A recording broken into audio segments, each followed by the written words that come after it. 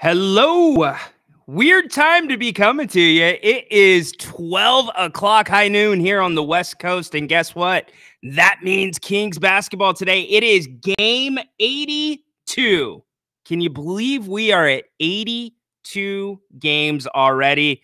Man, I, I just want to say off the top, thank all of you, every single one of you, whether you hear this later or you're watching, listening right now.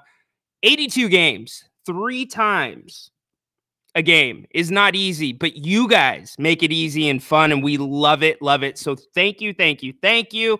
We'll get you ready for the Kings and the Blazers. Um, uh, can we call them the Blazers? Is it is it the Blazers or their G League team? I don't know, but you know what? We're gonna be careful about that because we've seen the Kings struggle before. This is the pregame show on. If you don't like that.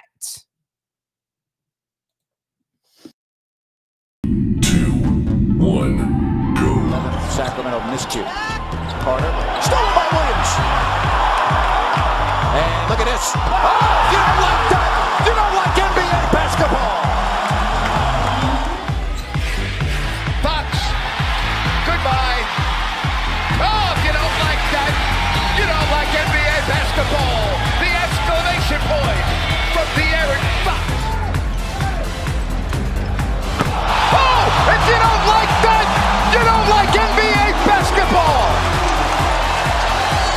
Boy, that's an ESPN highlight right there. Whoa.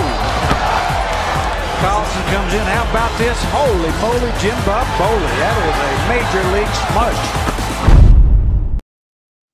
And welcome back into the Kings Court Studios on If You Don't Like That, Ryan and Sacktown here, soon to be joined by the NBA guru, Zach. He's going to get us ready uh, for a little bit today. Get let us know who's in, who is out. Also, uh, we're to look at some of the other matchups going on. And then obviously, I'm not to act like the Masters is not going on. If you can split your screen, split your screen. I mean, it is the best golf tournament in the world, in my opinion throw this horrible week behind us. Excel starts us off with that. Yeah, the two minute report. Let's hit on that right off the bat.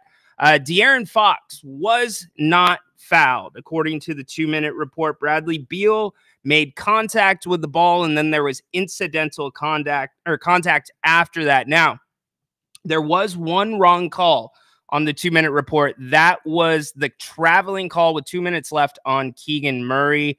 But again, three times in six games, the Kings look to the two minute report for answers. And uh, the replay is going to have to be fixed. There's no way about it. And it's not just the replay, it's also the officials because the officials referee in a style still that um, would be the way you would ref if you didn't have replay. So those basically, if you're gonna do one, you have to do both of them, and you got to hold each of their hands. BJ Sal 916, welcome in. Good call the other night, buddy. Uh, let's go. Kings finish strong, play tough, play some defense. PI Trush, will we make the playoffs? Good question. Will we make the playoffs? I bring in the NBA guru, Zach. What's up, my man? Happy Masters and King Sunday. Happy uh, Masters, happy Game 82. I can't believe Game uh, 82, man. It, it, it blew by. Holy moly, Jim Bob Bowley. It went quick. Holy moly, Jim Bob Bowley. So, all right. Um, a lot of people asking about will the Kings make the playoffs? We can't answer that, but what are the scenarios going into play today, Zach? You got me, Zach? Zach's just look at Zach. He's just smiling. Look at that smile. That's a good smile by Zach. He's so frozen right now. we'll have to try back with the guru in a second. Zach, are you there? Okay, no Zach. So we'll see if we can get him back on. Um, so basically, you're looking at uh, the Kings. eh, They're gonna be. They have an opportunity to host a game, which uh, hopefully that's what happens. The Warriors are not caring about home court. Um, so really, and then also, also we have to look at this factor. The Pelicans are playing the Lakers. Everybody tips off today at uh, I believe uh well 12:30, excuse me. Why was I having to think about that for a second? Um, so Uh, what happens today? Does it does it really matter? Should Mike Brown call off the dogs? I mean, what's your guys' take on it? I think the Kings certainly have to win, but again, I worry, I worry about sometimes these teams that come into the G1C and just absolutely light up the Kings. Go Kings and blank LA. Yes, Alberto. Uh, what would it mean to the team if they were to lose today? it's a good question, Alberto. Um, I don't think it would really matter at all. I, I, I don't because eh, the last the last five games that five of six that they have lost, I, I don't know that there's a harder way to lose some of the games that they've lost. So win or lose, I, I don't think it matters. Certainly, you want to see them win. You want to get them a little bit of momentum, you know, because if they win and the Lakers lose then the Kings can get the eight seed. They'll get the eight. If the Kings win and the Lakers win, Kings get the nine and the nine seed. Kings lose, Warriors win, Kings will fall to 10th. If the Warriors win today, that's going to be a huge problem and the Kings lose.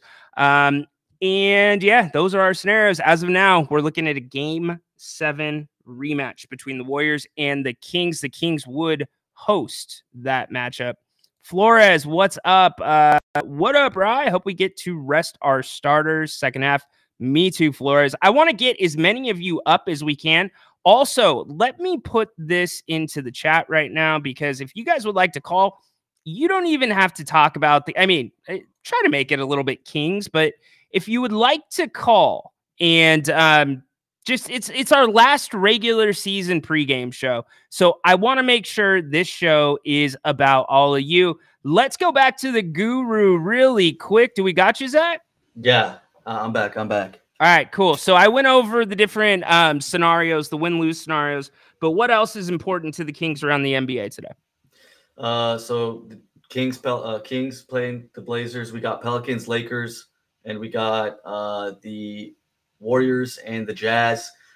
The Pelicans, if they win, they will be the sixth seed. So the Suns are playing Minnesota. Only way they can get the sixth seed is if they uh, beat Minnesota and the Pelicans lose. So for us, uh, I'm not sure if you talked about already. My bad if you did. But basically, Kings got to win, uh, and the Pelicans got to win and beat the Lakers, so the Kings can get in that seven-eight game and have a date in Arizona uh, with the Suns for that seven eight game. Um, and if the Kings lose and the Warriors win and the Pelicans uh, and, and the Lakers win, then we're gonna go down to that 10th yeah, we, and play in Golden State. Yeah, we went over that. A lot of teams resting their guys today. Uh, do you think Mike Brown has a preference on who the Kings want to play? I think that for sure the Kings want to be in that seven eight game. So uh, I think they're gonna do. They're gonna try to win today. Um, I know Warriors are resting uh, Curry and Draymond. Uh, the Lakers are playing uh, Davis and LeBron. They're playing obviously, and Ingram, who was injured for a while, is coming back today. So Pelicans that's kind of weird, right? Isn't yeah. that weird? They they want to get him a little run. I get it, but they're gonna have time off before the playoffs. They get like a week off. Yeah, that's true. I think they just want to make sure they're in that playoffs because if they lose that game and that's Suns true. beat Minnesota, they, they they won't make a. They'll be in the seventh seed. Yep, great point, Zach. Good stuff. I'm gonna bring you back here in a little bit when we talk Blazers personnel. That's the NBA guru. Hey, just for you, King Edward. I can hear you right now. Is that you, Edward? That's you. That's you in section 222. Come on, man. I can hear you all the way in the studio. PL, who are we cutting next season? That's for another show. I appreciate it though.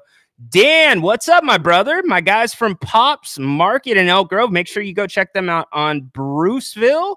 Enjoy the game today. Kevin, uh, what are the odds the Kings lose today? Odds the Jazz win. Um, it's it's impossible really for me to tell. I mean, the Kings at one point 17 point favorites today. And it's because the Blazers, I mean, everyone is out for the Blazers. Everyone's out. In fact, you know what? This is a perfect time.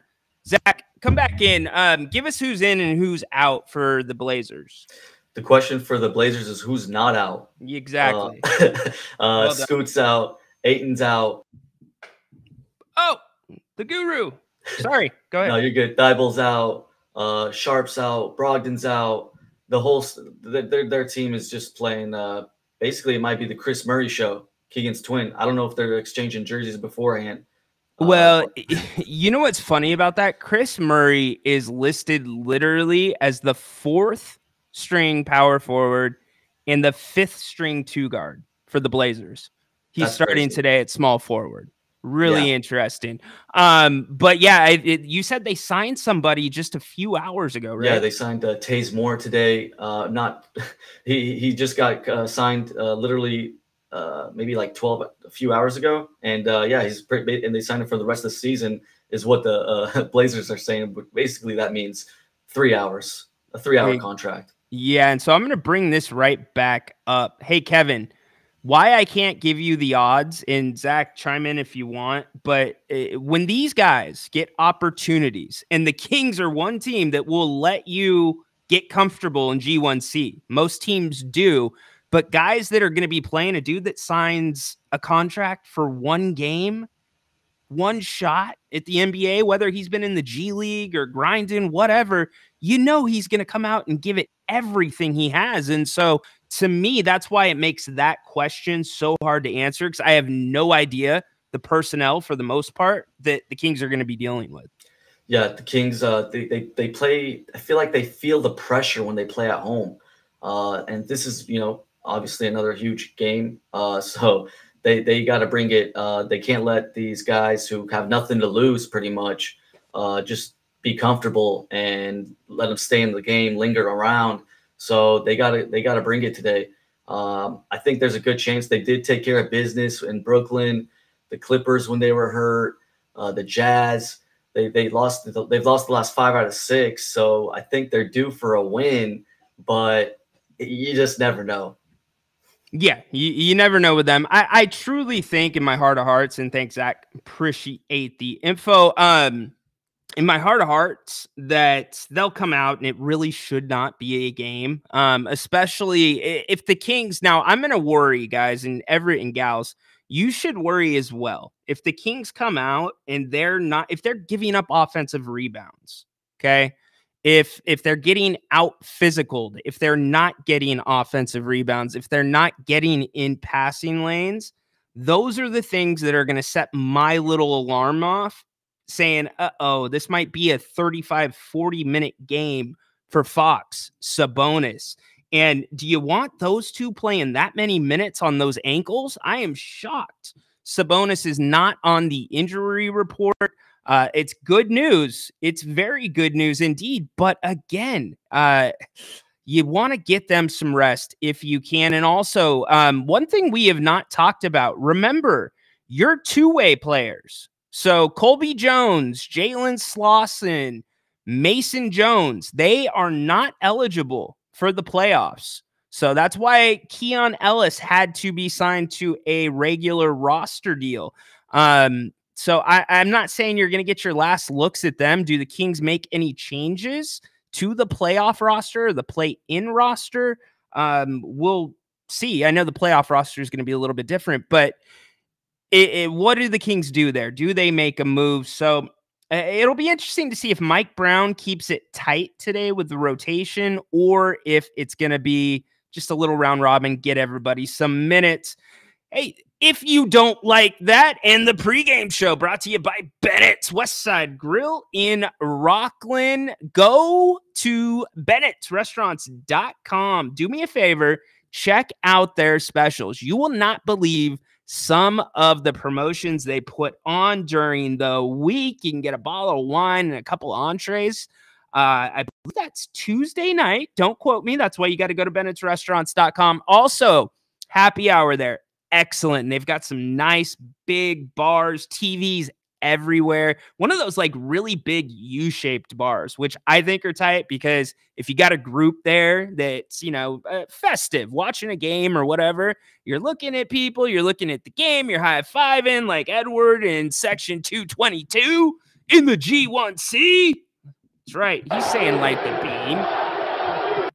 But uh, no, really, Bennett, you can also get 60 different wines by the glass. 60 different. I'll drop a couple of them. Rombauer, they got Rombauer Chard by the glass. So go to Bennett'sRestaurants.com, check out their other locations, menus, and much more. You can make reservations there as well. As I said, I want to get you guys all in here. If you want to call the show, you can. This show's about you. It's our last regular season post game or pregame show. And I'm guessing for the play in, um, I'm guessing Grant will join me for the pre. So it's our last chance to all be together in this type of forum. Uh, Kevin, why not give the two way players some run? I'm not saying you don't give them some run. That's not what I'm saying at all. But Mike Brown, I'm just saying he may keep the rotation tight. I mean, the Kings, they're not going to have the luxury of a week to get ready for their playoff opponent. They're not. It's the play in. It's right now, basically. Starts on Tuesday. So um, if Mike wants to run them, I'd run them. But you saw what happened with Colby Jones. I think, regardless of the opponent today being the Blazers and not being, you know, uh, very good because they're undermanned, uh, you got to be on top of the game in terms of game management. I know some people were not happy with some of the lack of timeouts last game in the second half, challenges, etc. Mike Brown's got to be all over it today. John, my man, John's giving love to Pops. Yeah, they they do some great stuff over there, and I know they've been great to John as well. And anybody else that's been in there, thank you for going and check them out. Cheers, Lance. Uh, have the injuries taken up, taken off the pressure? Sorry, your thing moved off the pressure for the Kings' playoff expectations. For me, they have hundred percent. Uh, the night that Malik Monk got hurt, I, I think I said on the post game show that you might as well just. It, I, I said Sacramento is like a pressure cooker, or it has been this season. And it's like you just took the little, you know, the little top that you got to watch your finger for because it'll burn you. It's just like you slid that thing and the pressure came out. So, in my opinion, spot on. Flores, uh, Sabonis's ankle must be fine if he's playing, not necessarily Flores. Hey, Flores, here's the deal. I talked about it on the King's Court. By the way, if you guys have not checked that out, that's my daily podcast. You can find it on Apple, Spotify. Try to get you in and out 10, 15 minutes. It's free and it's a Kings Insider podcast. And uh, anybody that has been listening to it, you know, we have been on the pulse of this team all season. So give it a try. I would love for you to do that. And then May 4th is our listener appreciation brunch at Bennett's West Side Grill. Um, so getting back to this, Flores, the Kings are not the best. And I'm not saying that the other teams in the NBA are great at it either, but not the best at reporting their injuries accurately. I mean, think about the whole thing with De'Aaron Fox, right? I don't I think he was on the injury he missed one game and then I don't believe he was even on the injury report after the shoulder. So, um, anyways, what I'm saying is there could still be something there going on in its gamesmanship because if the NBA did not come down on the Kings earlier this season or any other team for injury reporting, they're not going to do it today. Uh, Jason, the Kings are like a thirsty guy trying to treat a five or six or eight or nine. Kings aren't anything special. They're exactly what their record shows them to be. Yeah, absolutely. Jason, spot on. Uh, nobody, I mean, at least here in, if you don't like that, the King's Court, Jerry Grant and I, we're with you, man. We've said the same thing. I'm the one that said all season this. Uh, this is a process. The Kings weren't trying to win a championship year this year, and I know you are always trying to win, but what they are trying to do is open the championship window. That's what they were trying to do. And I think that they, eh, I don't think they've made significant progress, but I don't think they've hurt that window either this season. Love to get your thoughts on that. Alberto, I appreciate it, brother. And I appreciate literally everyone that has been here at any time this season, especially the regulars. I said it on the King's Court. Um, I we might not put up every comment as much as we would like to. Um, but and we'll get better at that. But we see the names: Kevin, John, Jay. We we know all of you. Alberto. I could just go down the list. Jason, Flores, Lance. I, I, and so thank you guys. thank you. So I want you to know we recognize you. We know you. You guys were in on the ground level floor as we started building this monster that is if you don't like that alberto no uh kevin didn't think monk was the team mvp until he went down. He's not the mvp of the team. Jeremiah what's up man? Winners say next man up losers blame injuries. There's something to that. Jay what's up man? We need to lose or we need to see the kings come out. Yeah i just said that. I agree with you 100% this game better never be in question. Mr. Wolf, what's up, man? Love your show, Ryan. Great job this year. Thank you guys so much. I, I've had the opportunity to a rare opportunity, right? Because the the landscape of media has changed so much, and this is what I've always wanted to do. And um, you know, when COVID happened, I, I just it, I, I was listening to Romy. He has a podcast called The Reinvention Project, and it's basically make your next 40 the best 40, right? And um, by gosh, I, have started living by some of those things, and it's changed a lot for me. But to be able to come out here and talk about basketball with all of you, and um, for you guys to want to come listen to our opinions here, um, it, it, just means the absolute world. So thank you guys. Thanks to every uh, Jim's his team. Obviously, Grant. Are you kidding me? Um, everything he's done for me, Jerry.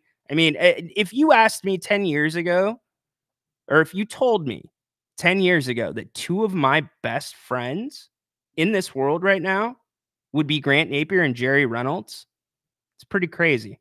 It's pretty damn crazy and pretty cool. Uh, I respectfully disagree, but we are allowed to do so. Sure, absolutely. That's what it's about, Kevin. Damn right. It's about debate. It is about debate. I won't ever support the Kings again after they shun Grant.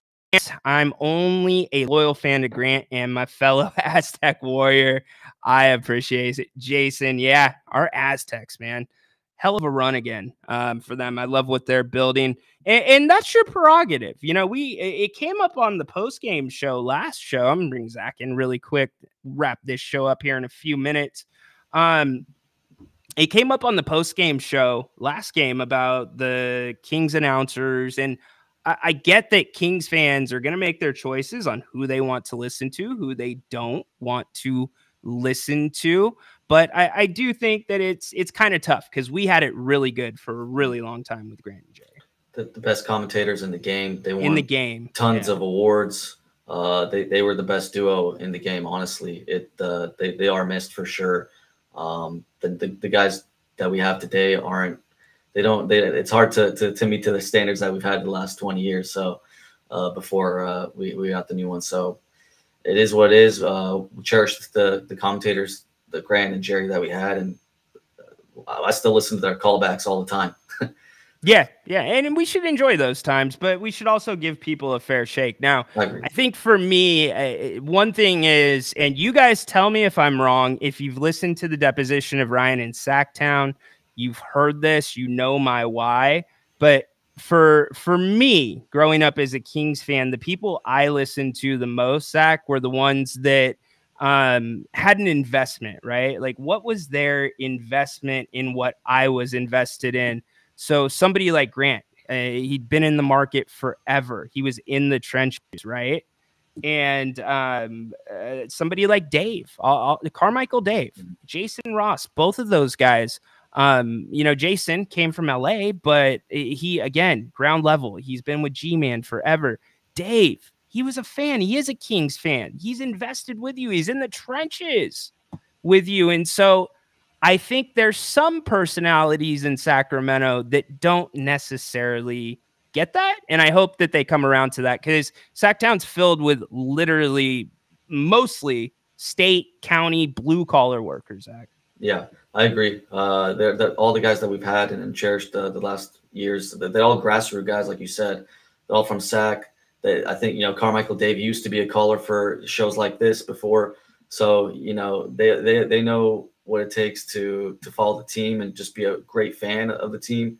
And uh, that that's what we love about all the Kings and the, organization and all the commentators that we had and all the radio guys. They they all love this team so much, and um, it's it, we we got we had it good, and I think we we we give uh, time to the guys that we have now. I think they'll hopefully uh, get more love than they have recently.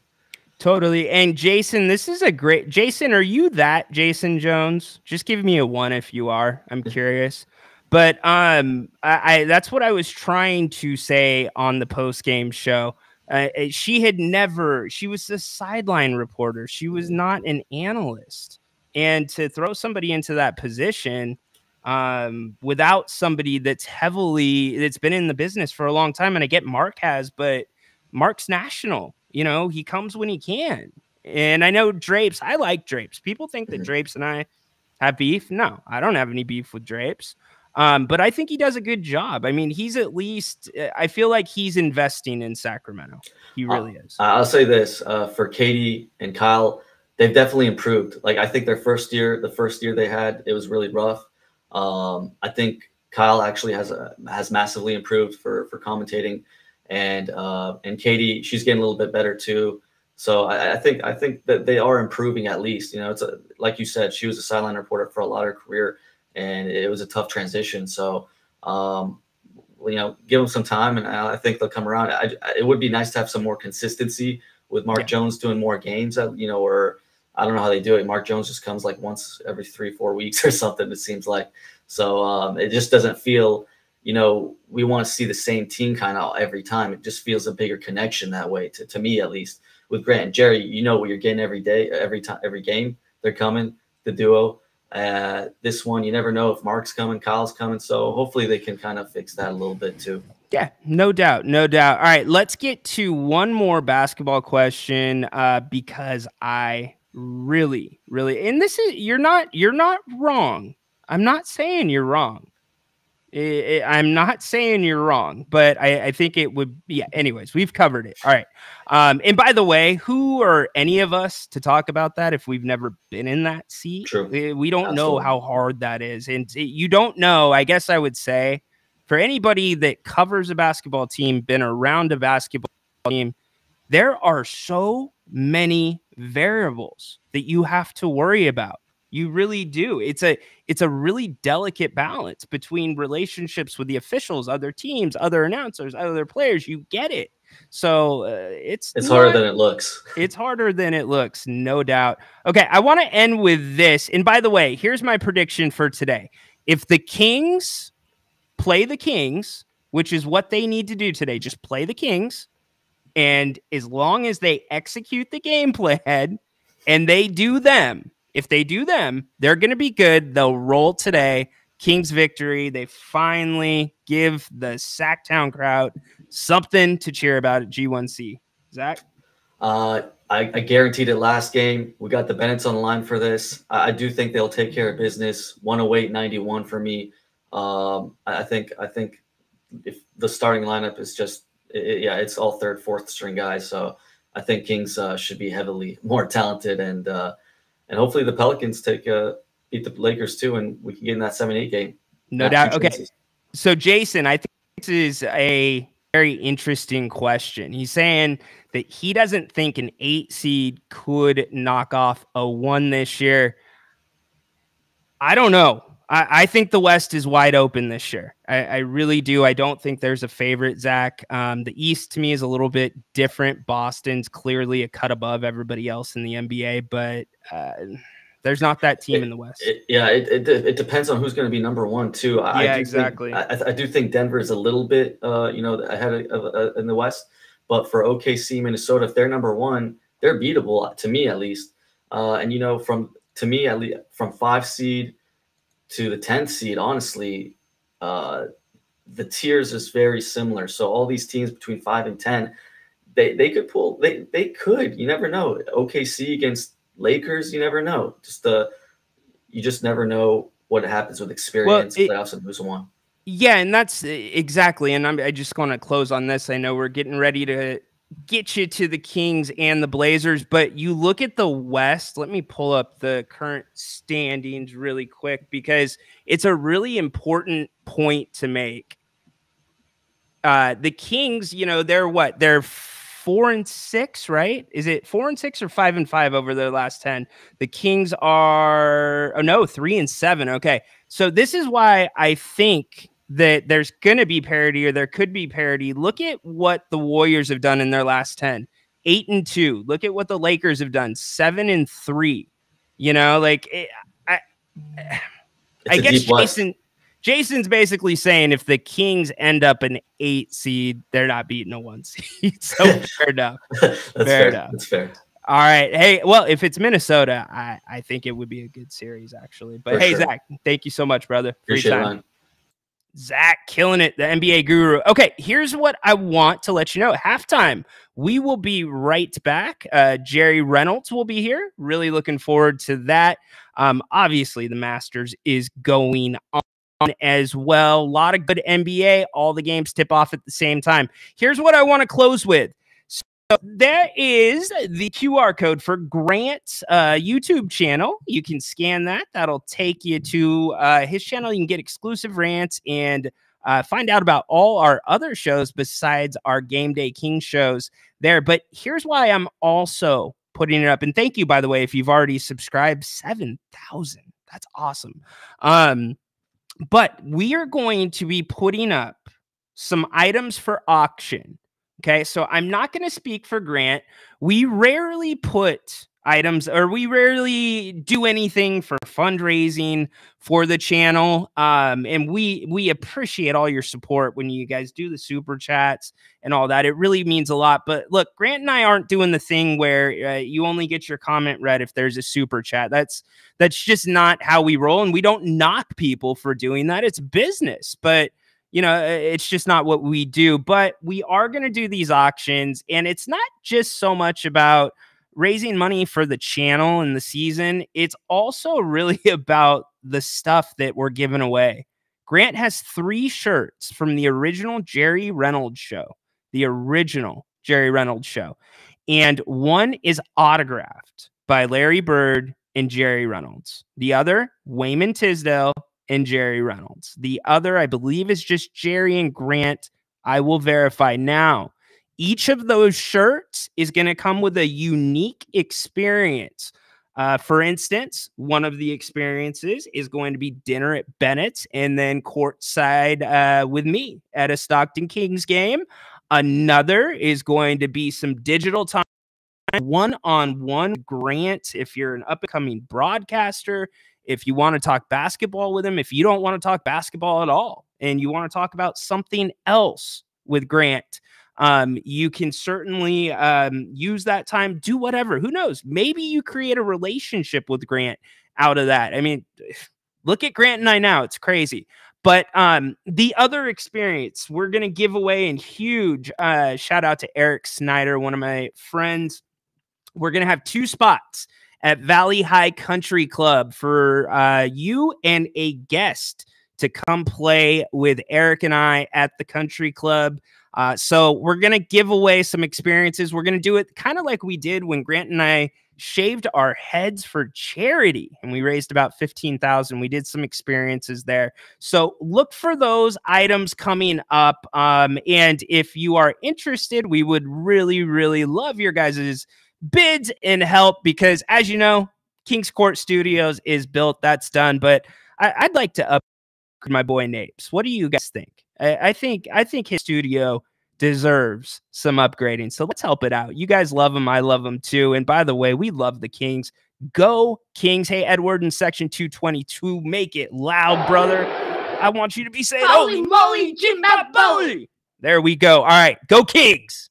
Light the beam. We'll see you at the half. Huge thanks to Zach, NBA Guru, and all of you. Literally all of you. 299 watching right now.